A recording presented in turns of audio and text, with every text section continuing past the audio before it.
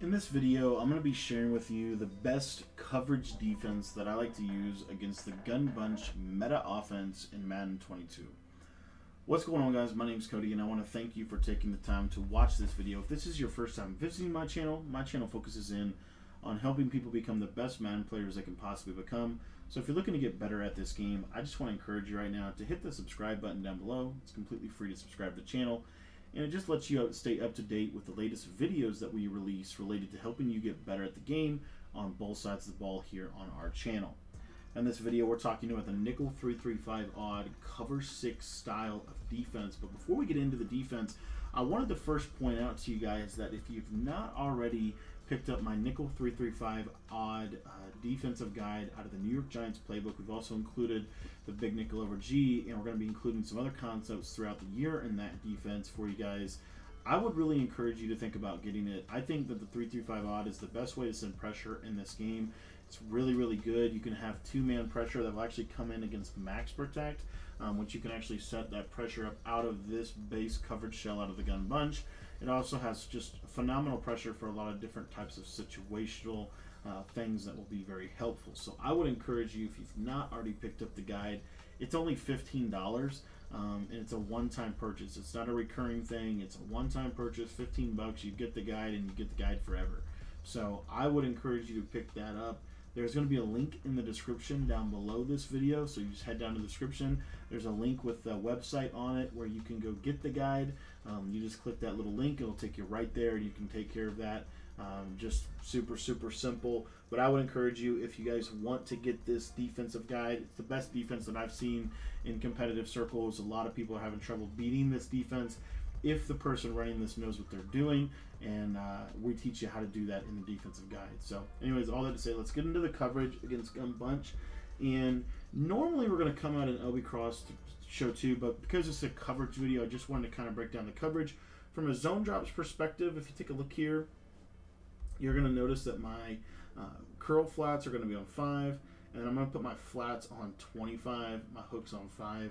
Uh, I like to use those zone drops. You might bump these to 30. You might bump them down to 20. Just depends on kind of what they're doing. Um, or another one of my favorites is this right here, especially if they're running things like flood concepts or things like that. So let's go with the five, and let's go with the let's go with the 15, the five, and the five for right now.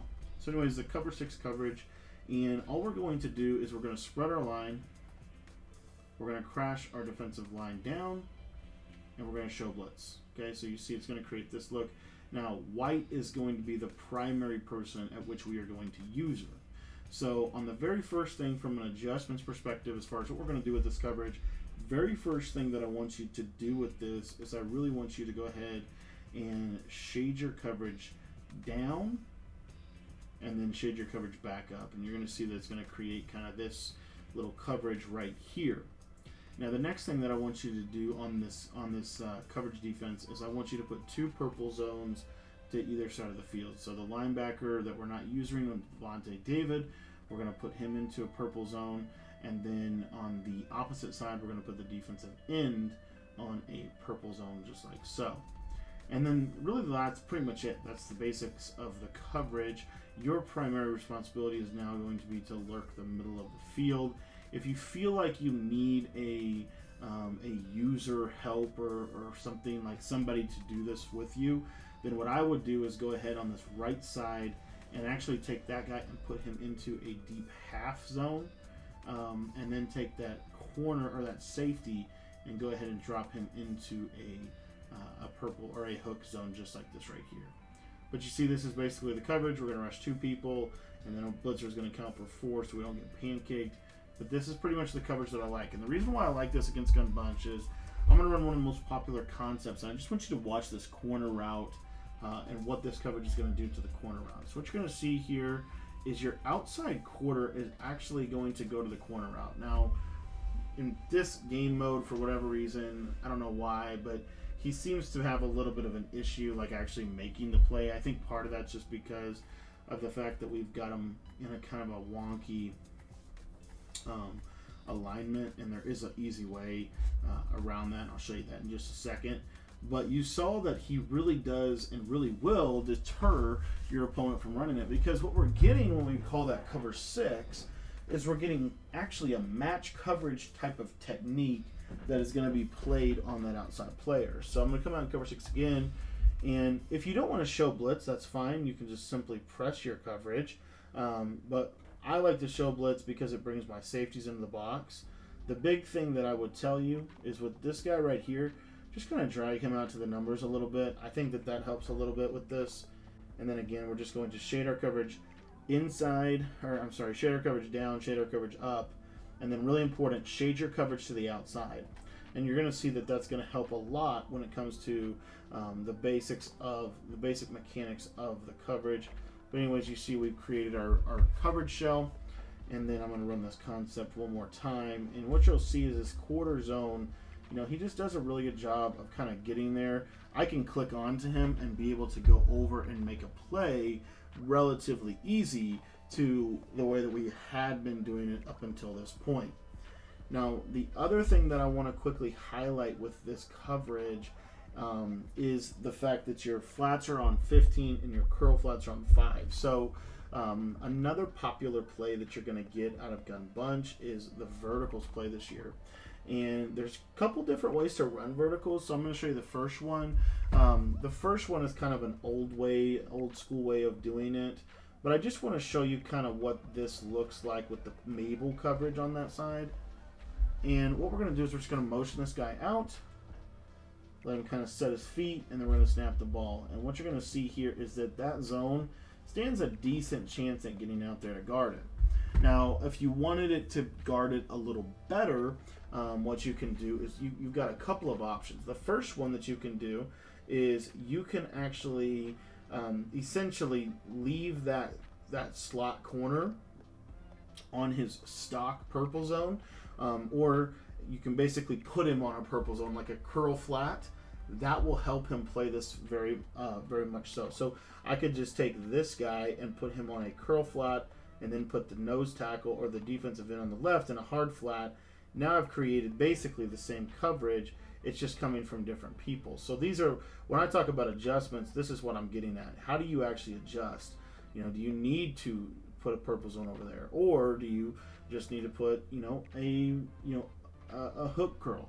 right? What do you what do you actually need to do for the defense? So here, this is like a great example of that. So now they're going to go back to that little wheel route concept on that left side, and now we've got you know pretty good coverage. We just want to make sure we're always shading our coverage to the outside, and we're always pass committing if we think it's going to be a pass.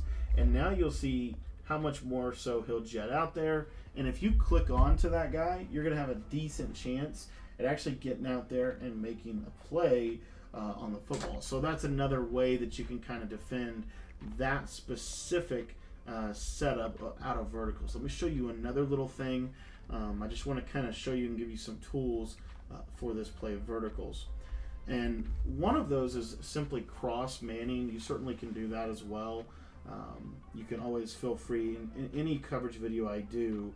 Um, you have the complete freedom, obviously, to you know do whatever you want to do if, if you don't want to do what I want to do. So, uh, that being said, um, these hard flats, I find that they play this really well with that purple zone. And let me just flip this real quick. Kind of show blitz and get this back to where I want it to be. So you see we've kind of got created that concept there. Get our defense kind of spread out just a little bit. But if you watch, as long as this, this quarter zone um, does his job, and really his job is to stay out wide. He actually goes inside a little bit more than I'd like him to. But you see that he's kind of in the area um, in terms of defending that. So we've taken the corner out away. We've taken um, and we've taken this little snap throw streak type of read away. But now I want to go over um, another route that's really popular out of verticals, and that is the slot just streaking circle. Um, so what you'll see here is against that cover six, you're going to see if they try to do that, you're going to have a guy in the area. So that's not really a great option. In fact, really any uh, any major seam read out of this for, out of this is not going to be an option. I could I can't throw anybody. Um, you'll see here that you know if I try to throw the R1 receiver, that quarter zone is going to do a really good job of coming up, and it's going to be a one-on-one type of scenario. So you're going to be able to get in front of the slot streaks. You're also going to be able to get in front of the wheel route on that opposite side as well. Um, another thing that you can consider is changing these around. So if you put maybe your flats on, maybe you put your flats on, um, oh, what was I going to say? Maybe put your flats on 15 and your curl flats on 5.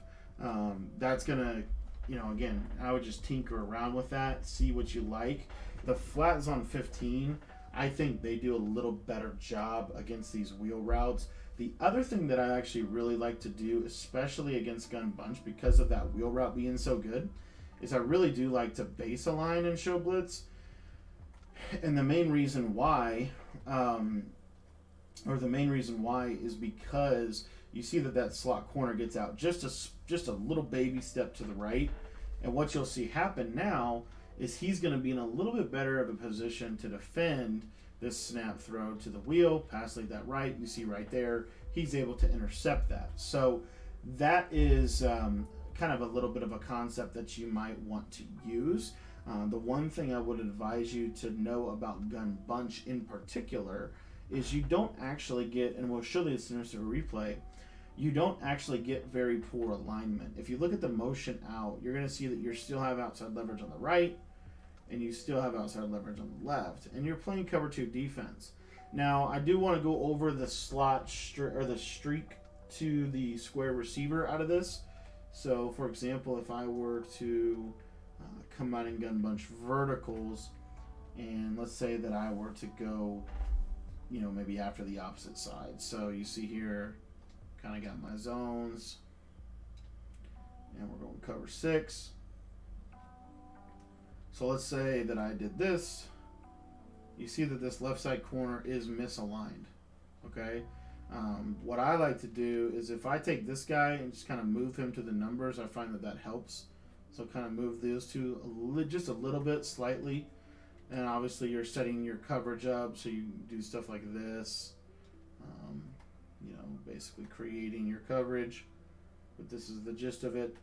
And then what you're going to see on this left side is if I try to just throw a streak, I have free access to the streak. But you see the deep half basically takes that away. So I'm actually a big fan of this because what this allows me to do is to kill a couple birds with one stone. I can have that, that outside cloud flat play motion slant or um, post routes, crossing routes, things like that. And then I've got my deep half over the top for the vertical what I also like is, um, let's say that they run. I think I got the ball now on the other side, but let's say that they run like a play um, similar to flood, or even uh, double post. This becomes very effective because what you're going to see, and that's it again 5, 15, and 5. Um, you're going to see here, if I go to the cover 6, there's no press out of this. Um, there's no press out of this. So you know, you set your coverage up kind of like that. And then let's just say for, you know, kind of the illustration purposes that this is your base coverage. And then you're going to be kind of usering, you know, essentially here. Um, and then I want you to watch this play flood. So what you're going to see happen is the dig route is going to get open, obviously. But that's where your user responsibility is. And I did want to show the instant replay on that just so you can see a quick interaction between the corner, um, between the corner and the wide receiver. So if you look over here, you're going to see this interaction. He gets a free release. Now really pay attention to this purple. You see the purple really drifts out, but he doesn't cover anything. His main thing is he's covering table routes, right? But what you can do is with a 15 yard zone like that, you actually gain a little bit of flexibility if they're not forcing it to the flat. What I mean by that is I could just come out in cover six, and let's say they're running gun bunch. One of my favorite, absolute favorite adjustments is I'll actually leave this linebacker on this vertical hook. And you'll find that he'll jump a lot of things that you might not have thought. So you're just going to kind of user right in here. And then obviously you're going to have like your your curl flat, hard flat concept over there to stop flood.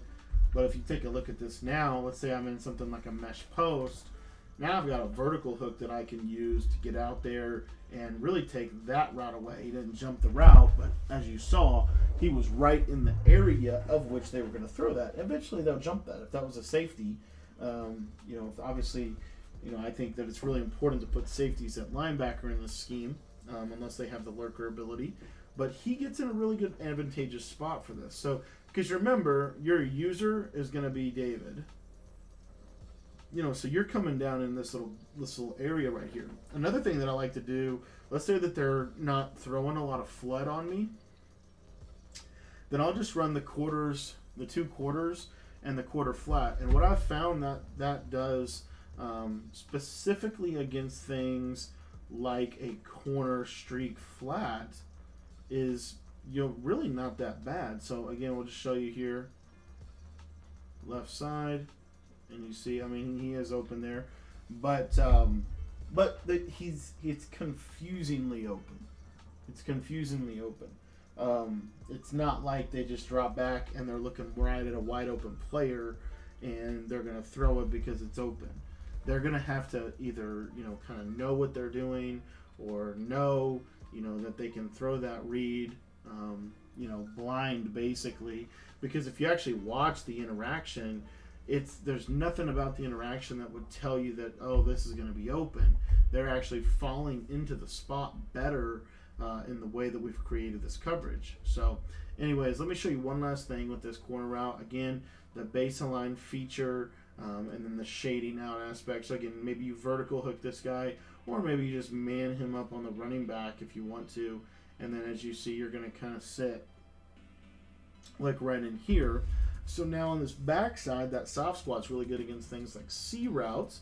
And then obviously, like I said, you've got your quarters coverage. So pass lead that to the right. There you see now he plays it perfectly and he takes that away. So that is the beauty of this defense is it's going to help you a lot with 3 by one sets because the toughest part about a 3 by one set is the street corner flat to the trip side. I think is super difficult this year to guard. This is a great way to guard it and keep it'd keep really good integrity on the backside of your defense. So, anyways, that being said, that's kind of my base coverage right now. Um, I've been doing this. I've been doing that a lot. Um, it's one of my number one plays that I call. So, if you want to learn the rest of the plays that I call and why I call them and how to stop the run and how to blitz and how to blitz with only two people against max protect, um, I would encourage you to pick up my gun or my uh, nickel 335 odd defensive guide. Like I said, it's on sale for just 15 bucks in the description. All you gotta do is go down to the description, click on the little website link that says click here for the guide. It'll take you right to the website where you can sign up for it. It's not a recurring payment of $15. It's a one-time payment of $15 uh, for it, and you get access to it for life. So any updates that come to that specific formation or the coverage, we will put it in there for you completely free of charge. So anyways, that is the um, that is the 335 odd defense that I like to use, at least right now, um, for defending the gun bunch. The gun bunch is the toughest offense to stop, but if we can learn some concepts that can help us get some advantages underneath, I think it's a super helpful thing to do. So thanks for watching the video, and if you want to get that defensive guide, I put a link in the description. All you gotta do is go down and click the link. and It'll take you right to the website and where you can pick up the defensive guide for just 15 bucks.